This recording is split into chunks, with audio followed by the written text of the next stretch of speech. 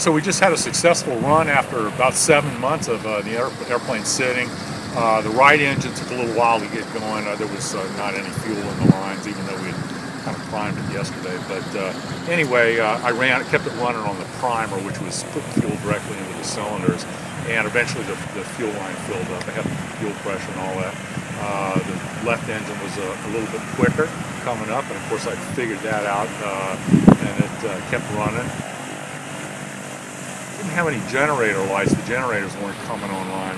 Uh, they're supposed to be online by 1500 RPM, and they were they were showing me some red lights. So uh, Wayne got up there, and we basically reset the generators back on the switch and checked them, and they were fine. So everything seems to be running good. The guys are gonna we got the engines hot, and what they're gonna do is they're gonna put the airplane back in the hangar, pull some spark plugs out, and do a compression check, which will basically check the uh, the compression inside the cylinders to make sure there's no leak by of the rings and things like that. We don't expect anything to be wrong, but it's something that we want to do.